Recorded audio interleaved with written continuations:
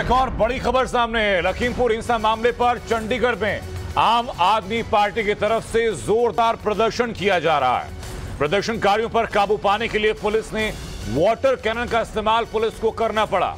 एक तरफ़ आप नेता संजय सिंह लखीमपुर खीरी के लिए कूच कर चुके हैं तो दूसरी तरफ़ चंडीगढ़ से तस्वीरें हैं, जहाँ लखीमपुर खीरी मामले पर आम आदमी पार्टी के कार्यकर्ता प्रदर्शन कर रहे हैं चंडीगढ़ में, और उनको रोकने के लिए पहले पुलिस ने बैरिकेडिंग का इस्तेमाल किया। जब स्थिति काबू में नहीं रह पाई तो उसके बाद वाटर कैनन का इस्तेमाल किया चंडीगढ़ में।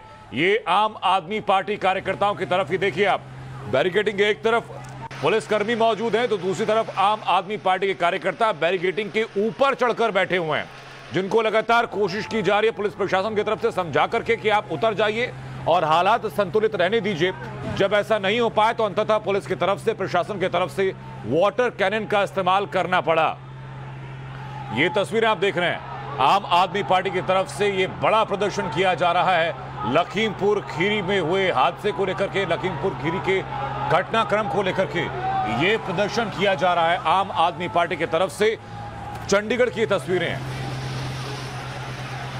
इन तस्वीरों में आप देख सकते हैं, आम आदमी पार्टी की तरफ़ से सैकड़ों की संख्या में कार्यकर्ता वहाँ मौजूद हैं।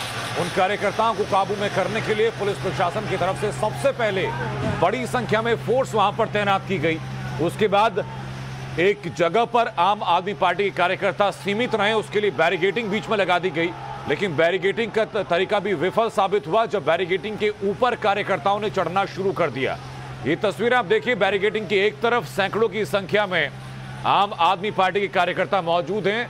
दूसरी तरफ़ पुलिसकर्मी जो कि रोकने की कोशिश कर रहे हैं और जब पुलिसकर्मियों के साथ वहाँ पर स्थिति बेकाबू होती हुई दिखी तो अंततः वाटर कैनन का इस्तेमाल करना पड़ा पुलिस को। उसके बाद स्थिति कुछ हद तक काबू में आती हुई फ़िलहाल सिर्फ़ दिखी है। ये तस्वीरें आपको लगातार दिखाते रहेंगे। जहाँ भी राजनीतिक हलचल होगी, लखीमपुर खीरी घटना से जुड़ी हुई वो तस्वीरें आपको दिखाएँगे और साथ ही